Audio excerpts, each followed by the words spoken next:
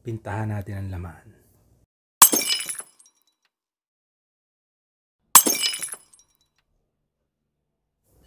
Approve! Mga kosa, kumusta na? Welcome back to Think Tarantulas TV. Ito, nagbabalik tayo at magbubukas na naman tayo ng panibagong box. Ito ay dagdag investment natin sa ating mga future na mga projects. So, samahan nyo ako at tingnan natin kung ano ang laman ito. Ito na, wakwakin na natin. Huwag na natin patagalin mga kosa. Tingnan na natin. Medyo excited na akong buksan to at uh, galing ako ng work. Tingnan natin kung ano laman ito. Mabuti na lang at uh, day off si Mrs. at uh, siya ang nag-receive nito. So, approve na approve talaga. Tingnan natin kung ano laman mga kosa. Ayan. Daming bag. At saka mga bubble uh, wrap. Oh, teka, ba't dalawa? Dalawa. Isa lang in-order ko eh. Ano ba to? Masyudora para hibana. Naka! Yung seller, binigyan tayo ng free sling na Lasyudora para hibana.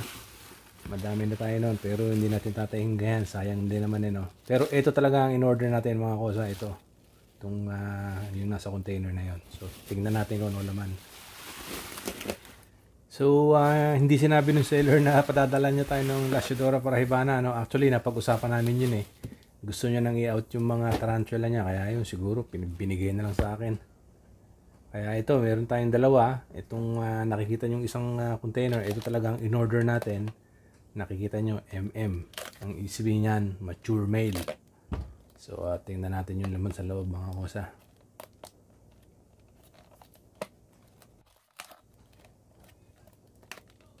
Hirap buksan mga kosa kasi parang pagkano ko, ayun oh, pumapalag na yung tarantula sa loob kung nakikita nyo, no? Parang madudurog yung plastic eh, kaya medyo dahan-dahan lang dapat eh. Ito, tingnan natin. Yeah. Hop. Yun, kita nyo. Isa natin dito sa side na to. Teka.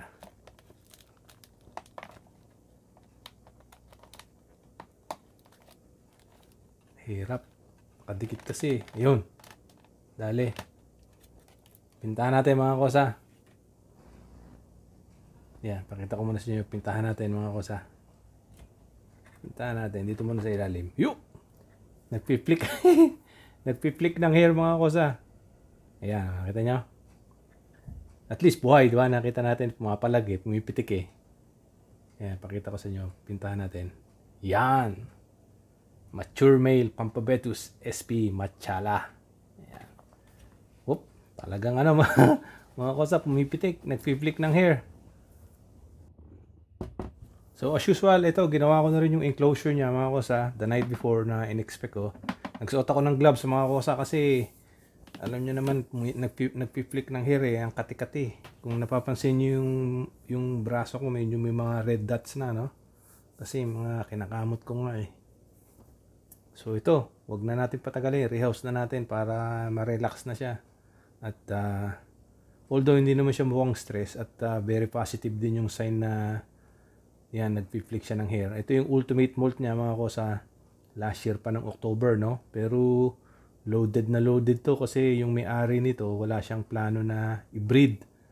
So nung sinabi niya sa akin na meron siya nito, yan, nakahanap tayo ng female. Uh, kinuha na natin. Ang may-ari nito mga kosa, Hapon, pero dito nakatira sa UK. Kaibigan din natin siya sa Facebook at uh, marami rin siyang tarantula dati na mga pampabetus. Ito na lang ang natira sa kanya. So ayan mga kosa, ito, close up, close encounter. Napaka-pogi mga kosa, oh. Ibang klase talaga mga kulay ng mga mature male na pampabetus, eh, no? Medyo mahihain pa. Bago pa, syempre, bagong environment, eh, no? Pero according dun sa may-ari nito mga kosa, talagang ilang beses na nag-sperm web to. So talagang ito eh loaded na loaded na no. Pag dumating yung female natin, pagpapahingin lang natin, sabay isasalang na natin, katalo na yan. Ito, lagyan natin ng water dish para makaidom siya at ah, magkaroon ng madagdagan ng humidity yung enclosure. Yeah, pogi. Mahirap kumuha nito ngayon dito sa UK mga kosa. Marami kong kilalang keeper ng pampabityo sa naghahanap ng mga mature male. At uh, maswerte tayo na dahil natin to dito sa UK. Kasi dito sa UK ngayon mga kosa, ang hirap na kumuha ng tarantula sa Europe, sa ibang bansa. Ano, mahigpit na yung batas. So uh, medyo complicated ang situation kaya dito ka lang talaga muna makakasource sa UK ng mga tarantula. Kaya yun, ang nangyayari dito sa UK, kanya-kanyang contacts, kanya-kanyang connection. Yan, mas marami kang contact, mas malawak ang connection mo, mas marami kang masosource. At ito, ito naman yung uh, unexpected na Lasiodora Parahibana na binigay niya sa atin. Actually, hindi ko alam to. Kaya yun, ito medyo malaki na rin. Alagaan din natin, medyo very, itong Lasiodora Parahibana mga kosa ay very very common na dito sa Europe at sa UK. So actually, tinatanggihan na to ng mga keeper eh. Parang dyan sa Pilipinas, ang common ata dyan eh mga mga Gramostola pool cripes. Ano?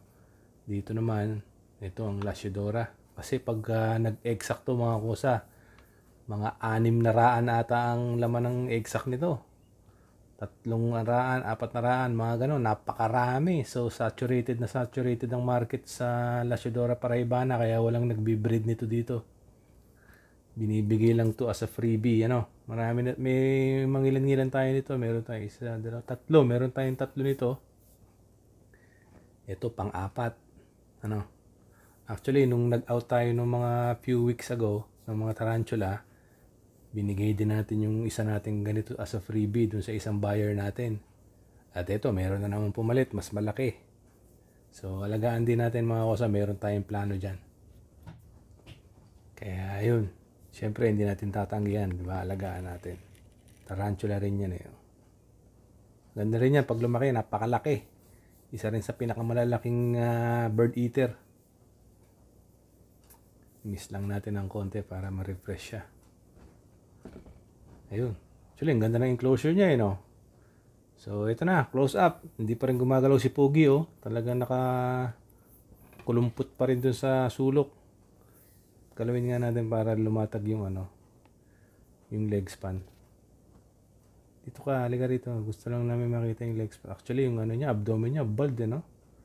Ano yun eh, talagang sobrang, uh, kasi ang mga mature male mga kosa kapag ka ultimate molt na nila at naghahanap na sila ng kamate hindi na yun mapakili sa enclosure. Sabi nung uh, may-ari nito galaw daw to ng galaw no so kailangan maliit din yung enclosure mo para hindi sila masyadong ma-work out at hindi sila masyadong uh, mapagod. Medyo masahaba yung lifespan nila no yung pinaglagyan ko nitong enclosure na to mga kosa actually medyo malaki siya no actually ideally kailangan medyo mas maliit pa dyan pero wala na akong ibang enclosure kaya dyan ko na rin nilagay So ito naman, konting update. Ito naman yung uh, nagsimula na yung breeding project natin. Kung nagpa-follow kayo ng Facebook, pinost ko yung picture nito. Ito yung ating Pampabiteus uh, color form insignis. So uh, ito na, simula na yung breeding natin. At uh, ito ang first attempt natin. At uh, yan, salamat sa boss natin, Boss Paxen TV.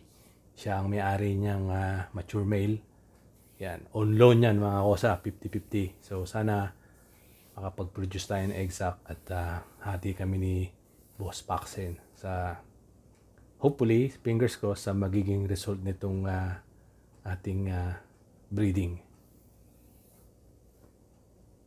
So, yan, kung makikita nyo, medyo kalmado naman yung female, ano? Hindi siya aggressive, hindi siya namimitik, hindi siya, hindi nakabuka yung fangs niya, Actually, hindi ko siya ma-focus eh. Pero yung fangs niya medyo naka-relax lang.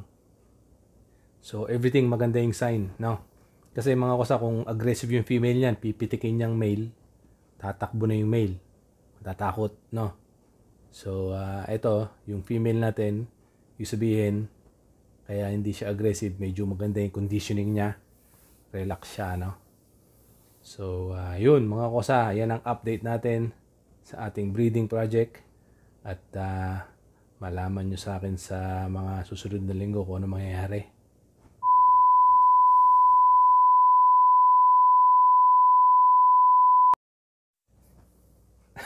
So ayun mga kosa, nag-brown out dito no, kaya nawala yung power. nawala yung power ano. And anyway mga kosa, joke lang. ah, surprise na lang mga kosa yung development ano. Ah, ayaw natin siyang ma ma ano ba tawag doon? Ma maudlot or ma-curse. So yun, update ko na lang kayo kung anong development ano.